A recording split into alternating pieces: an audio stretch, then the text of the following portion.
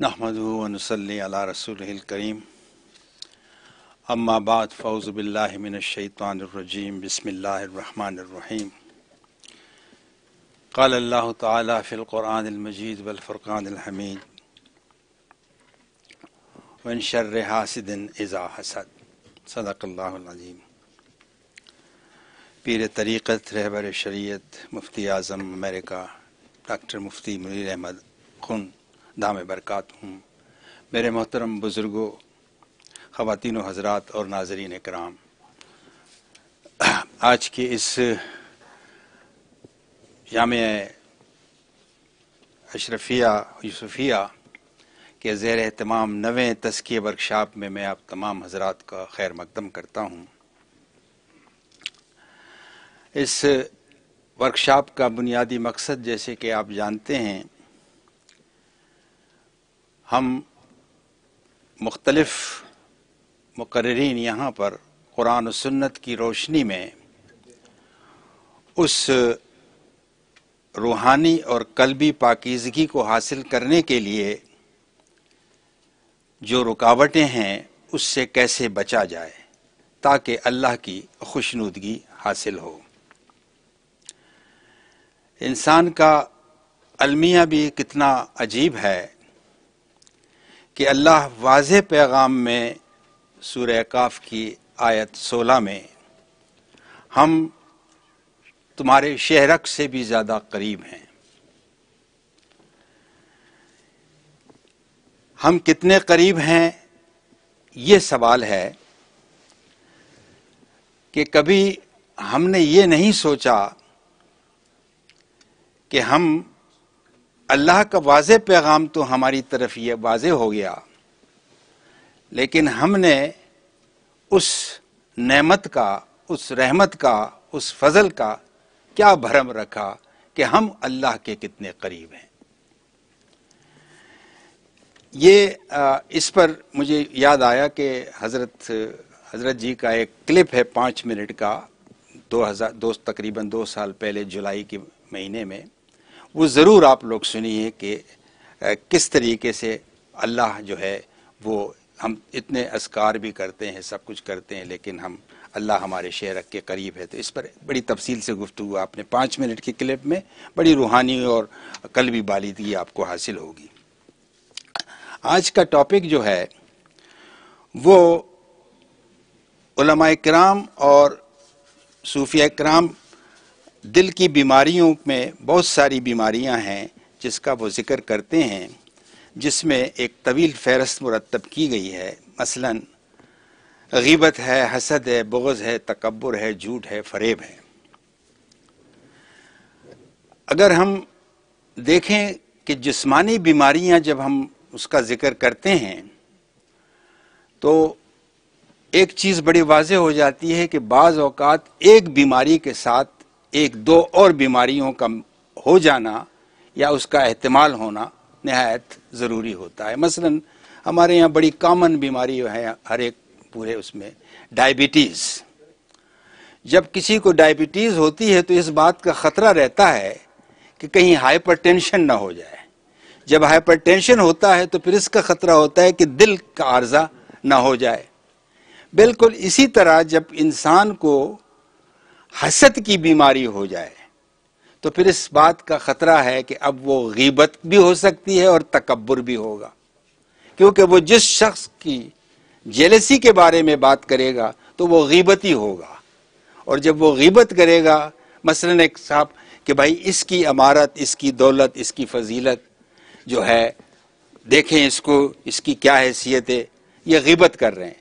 जब आप गिबत ख़त्म कर देते तो फिर अपने आप को बताने के लिए कि यार हम देखो, इतनी मेहनत की हमने, इतनी पढ़ाई की, इसे देखो और हमें कुछ नहीं मिल रहा है इसे। तो ये अब आपका तकबर आ रहा है अंदर से कि आप उसको डाउन कर रहे हैं। और हसद की अगर तारीफ़ हम करें तो अल्लाह की दी हुई नेमत को, उसके कमाल को, उसके जमाल को और उसके माल को दूसरा शख्स जिसके पास ये नेमतें ना हों, वो ये सोचकर इमाम गजाली अहियालूम जिल तीन सफ़ा 422 में इस मंज़र को बयान करते हैं कि हज़रत ज़करिया अलैहिस्सलाम के हवाले से कि हासिद मेरी नेमत का दुश्मन है, अल्लाह की नेमत का वो दुश्मन है और मेरे फैसले पर वो नाराज़ है कि मैं अपने बंदों के दरमियान जो मैंने तकसीम की है, वो उस पर राज़ी नहीं है। इसी तरीके से हज़रत अबू हरेरा अल्लाह से रिवायत है, सुन नबी दाऊद की हदीस नंबर है 4905 कि हसद से बचो क्योंकि हसद नेकियों को इस तरह खा जाता है जिस तरह आग, लकड़ी या खुश्क घास को खा जाती है। अच्छा हसद की रिवायत जो है या इसकी इब्तदा जो है अगर हम इस पर गौर करें तो हमें मालूम होता है कि ये एक शैतानी और इबलीसी सिफत है। अल्लाह ने जब आदम को तख्लीक किया तो हुक्म हुआ कि इसे सजदा करें। तो इबलीस ने उसकी अजमत, उसकी फजीलत को चैलेंज करते हुए सजदा नहीं किया। और पहला हसद और पहली जेलसी उसकी हुई कि ये तो खाकी है, मैं नारी हूँ। इसी तरीके से रुए ज़मीन पर पहला कत्ल और पहला गुनाह अजीम भी इस जेलसी की वजह से हुआ, हसद की वजह से हुआ, जब हज़रत हाबील और काबिल के दोनों के दरमियान में एक की कुर्बानी कबूल होती है और एक की नहीं, और वो जेलसी में उसे कत्ल होता है। तो ये कभी फेल अजल से चला आ रहा है। लेकिन सूरह निसा में आयत बत्तीस में अल्लाह ताला फरमाता है कि उस चीज़ की तमन्ना न करो जिस चीज़ की वजह से अल्लाह ने तुम में से बास को बास पर फजीलत दी है। अब मैं दो मुख्तसर वाक़ात आपको सुनाता हूँ कि हसद के नुकसान क्या हैं और हसद न करने के फ़वाद क्या हैं। पहले हम देखते हैं कि हस, हसद का न करने के क्या फ़ायदे हो सकते हैं। हज़रत ये भी रिवायत जो है, ये हज़रत उसकी, हदीस की है कि हज़रत सैदना अनस रज़ी तु से रिवायत है कि हम आप हजूर अक्रम वसल्लम की खिदमत में हाजिर थे तो आपने फरमाया कि अभी तुम्हारे सामने से एक जन्नती शख्स गुजरेगा। इतने में हमने देखा कि यकायक एक अंसारी सहाबी नमूदार हुए, बाएँ हाथ से जूतों को बगल में दबाए और चेहरे से पानी टपकते हुए आगे बढ़े। दूसरे दिन भी यही हुआ। तीसरे दिन फिर यही हुआ, यही मंजर रिपीट किया गया। तो जब वो जाने लग गए, वो साहबी, अंसारी साहबी तो उस महफिल में बैठे हुए हज़रत अब्दुल्ला बिन उमर बिन आस रज़ी अल्लाह ने उसका पीछा किया। इस ख्याल से कि देखिए सूर्य बकरा की एक सौ अड़तालीस आयत है कि रश्क से मिलती जुलती एक और चीज़ जो है, वो है मुसाबिकत। तो उस आयत का तर्जुमा है कि पस नेकियों में एक दूसरे से सबकत ले जाने की कोशिश करो। उसे तजस्स हुआ और जस्तजू हुई कि ऐसी इस शख्स में क्या खूबी है कि आप सल्लल्लाहु अलैहि वसल्लम ने तीन मरतबा फरमाया कि ये जन्नती। आप उसके पीछे हो लिए और उस, उनसे कहा कि मैं अपने वालदेन से किसी वजह से नाराज़ हुआ हूँ।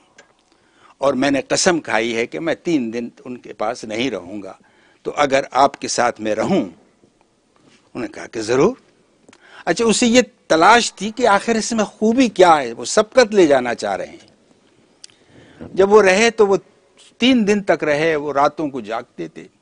वो फिर सो जाते थे, अपने हसब मामूल अपने इबादत के वक्त पे तहजद नमाज़ पढ़ ली।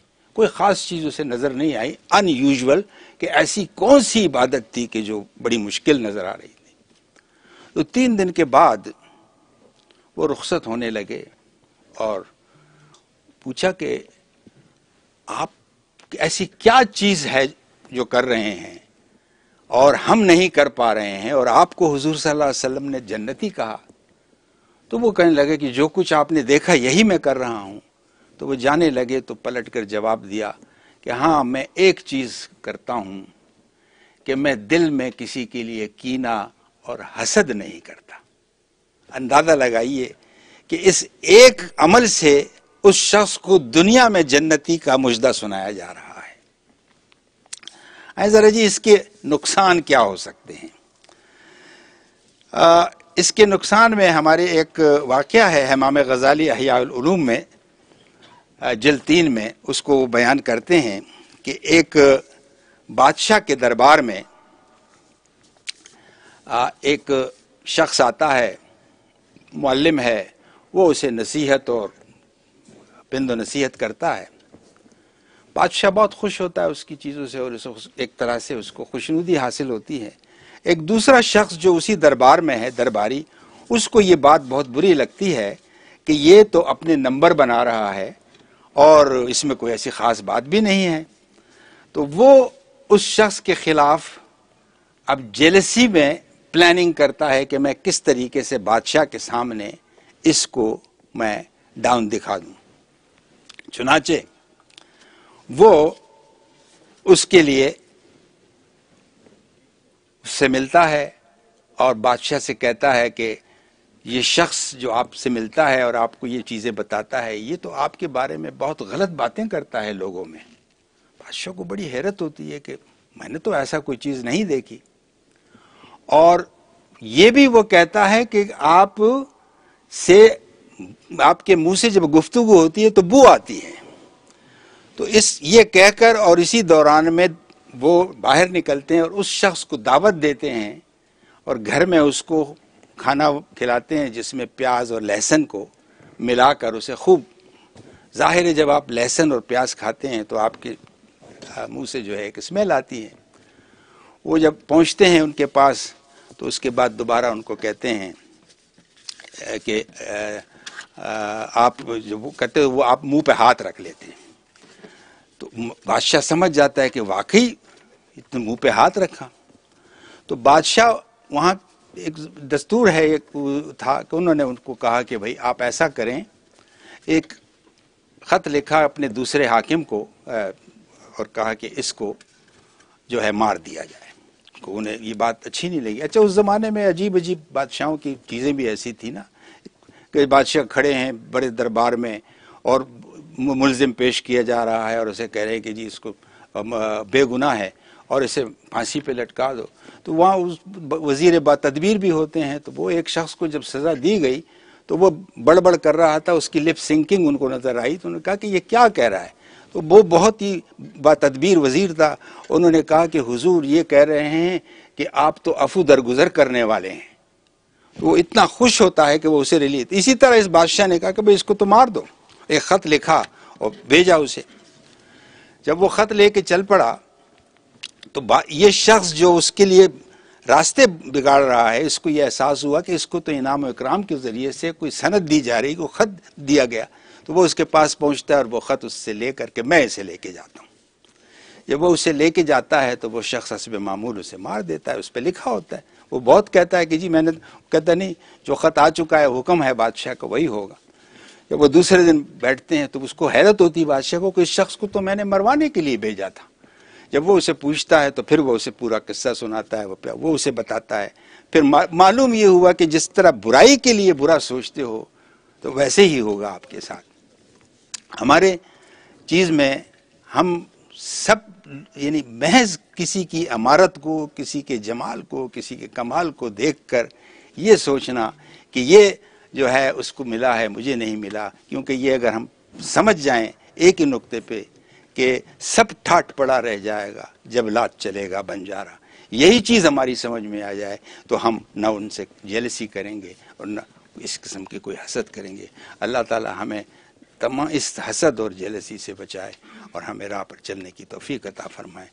हमारे रूहों को बालिदगी अता करे। वमा लेना इल्लल बला।